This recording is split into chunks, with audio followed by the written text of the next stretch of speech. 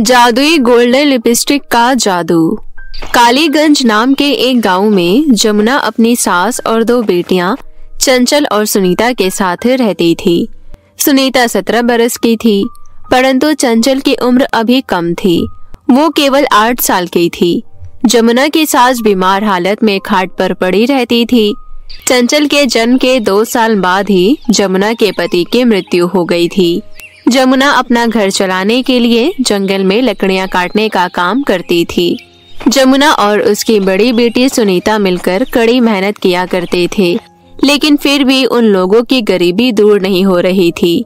जमुना अपनी सास की खूब सेवा किया करती थी। एक बार की बात है, जमुना की सास अंतिम सांस ले रही थी। अपने अंतिम समय में वो अपनी बहू और अपनी पोतियों को अपने पास बुलाती है और कहती है, जमुना बहू, तूने मेरी बहुत सेवा की है। हमेशा मुझे अपनी माँ की तरह माना है। मेरे पास तुझे देने के लिए तो कोई ज़मीन जायदाद नहीं है, सिवाय इस गोल्डन लिपस्टिक के। ये तुम रख लो। मैं अब ज़्यादा समय की मेहमान नहीं हूँ, बेटी। आप ऐसे क्यों बोल रही हो सासू माँ? मैंने आपकी सेवा किसी लालच से नहीं की है। मैं तो दिल से आपको अपनी माँ समझती हूँ। जाना तो मुझे पड़ेगा बेटी। तुम इस गोल्डन लिपस्टिक को रख लो। तुम जब भी इस लिपस्टिक का इस्तेमाल करोगी तो सावधानी से करना।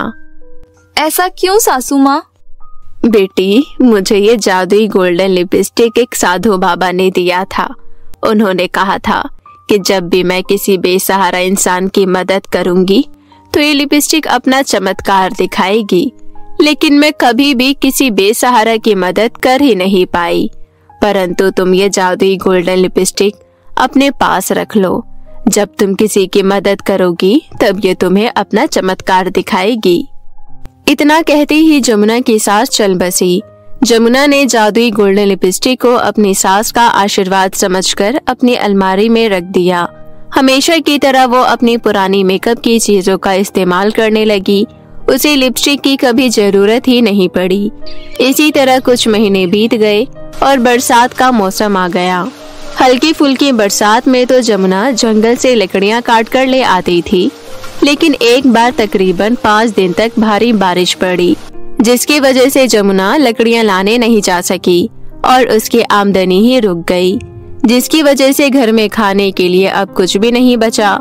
जमुना परेशान होकर अपनी बड़ी बेटी सुनीता से बोली अब तो मुझे जंगल में लकड़ियाँ काटने जाना ही पड़ेगा क्योंकि अगर ऐसा ही चलता रहा तो हमारे खाने के लाले पड़ जाएँगे। वो तो आप सही कह रही हो माँ लेकिन इस मूसलाधार बारिश और आंधी तूफ़ान में आप जंगल तक कैसे जा पाओगी? और अगर आप जंगल चली भी गई तो उन भीगी लकड़ियों का हम क्या करेंगे? उसका तो कोई खरीदार भी नहीं मिलेगा। ये बात तो तुम्हारी बिल्कुल सही है बेटी लेकिन भूख भी तो बहुत लगी है। हम दोनों तो भूखे रह लेंगे लेकिन चंचल अभी छोटी है। हे भगवान ये हमारे कैसे दिन आ गए हैं? हम सब कब से भूखे हैं? तभी जमुना के मन में एक ख्याल आता है। सुनीता मुझे एक विचार आया है। क्यों ना मैं नदी जाकर मछलियाँ पकड़ लाऊं और उन्हें बाज़ार में बेच दूँ? क्योंकि इतनी बारिश में तो पानी का जल स्तर भी काफ़ी ऊपर आ गया होगा।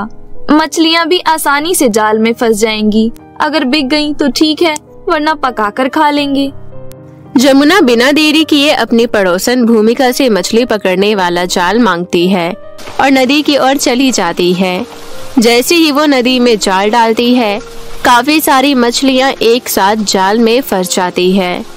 बिना देरी किए जमुना मछलियाँ लेकर बाज़ार की ओर निकल पड़ती है।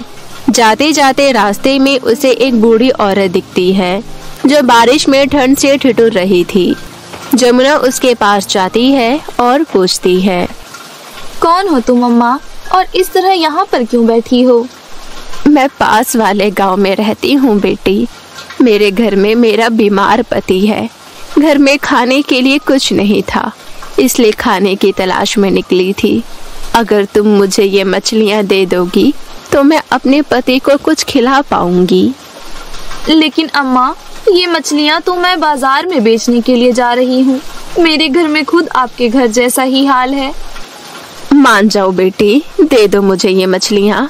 क्योंकि अगर मैं आज घर कुछ खाने के लिए लेकर नहीं गई तो मेरे पति की मृत्यु हो जाएगी। आपके घर में कोई कमाने वाला नहीं है क्या, अम्मा? तुम्हारा बेटा या फिर कोई बेटी? नहीं बेटी, सिर्फ़ मैं और मेरे पति ही हैं। एक बेटी थी, लेकिन कुछ साल पहले उसके एक्सीडेंट में मौत हो गई। अब मेरा सहारा मेरे बीमार पति ही हैं। अगर उन्हें कुछ हो गया तो मैं भी जीकर क्या करूँगी? फिर तो मैं भी अपनी जान दे दूँगी। अगर तुम्हें मेरी बातों पर भरोसा नहीं हो रहा है तो मेरे घर चलकर देख लो। नहीं नहीं अम्मा ऐसी बात नहीं है। मैं आपके घर जाकर क्या करूँगी? ये लीजिए ये मछलियाँ आप ही रख लीजिए। इतना कहकर जमुना उस बूढ़ी औरत को सारी मछलियाँ दे देती है और खुद घर लौटते वक्त पेड़ से कुछ फल तोड़कर ले जाती है और घर आकर अपनी बेटी को देते हुए बोलती है। बेटी आज भी मुझे खाने के लिए कुछ नहीं मिला इसलिए मैं ये कुछ फल तोड़ कर ले आई हूँ। कोई बात नहीं, माँ। लाओ, ये फल ही दे दो। भूखे रहने से अच्छा है, कुछ तो खाएँगे। उसके बाद सुनीता उन फलों को ले जाकर काटने लगती है। जमुना वहीं पर सर पकड़कर बैठ जाती है और सोचने लगती है। अगर ऐसा ही चलता रहा तो मेरे परिवार की भूख के कारण मृत्यु हो जाएगी। नहीं नहीं, मैं ऐसा नहीं होने दे सकती। मुझे कुछ तो सोचना होगा। तभी जमुना को अपनी सासू माँ की कही जादू लिपस्टिक वाली बात याद आती है। वो अपने कमरे में जाकर अलमारी से जादुई गोल्डन लिपस्टिक निकाल लेती है और जादुई लिपस्टिक से कहती है, मेरी सासू माँ ने तुम्हें मुझे देते वक्त कहा था कि अगर हम किसी की मदद करेंगे तो तुम हमारी मदद करोगी। आज हम बहुत मुसीबत में हैं। भगवान के लिए हमारी मदद करो। आज हमें तुम्हारी बहुत ज़रूरत है। प्लीज़ हमारी मदद करो। तभी जादू लिपस्टिक में से आवाज़ आती है। मैं तुम्हारी मदद करने के लिए ही हूँ, जमुना। तुम्हें मुझसे जो मांगना है, तुम मांग सकती हो। मैं तुम्हारी सारी जरूरतों को पूरा कर दूँगी। जादू लिपस्टिक को बोलता देख जमुना हैरान हो जाती है और तुरंत अपनी दोनों बेटियों को बुलाती है। सुनीता, चंचल, जल्दी इधर आओ। देखो, ये लिपस्टिक हमसे बातें कर रही है।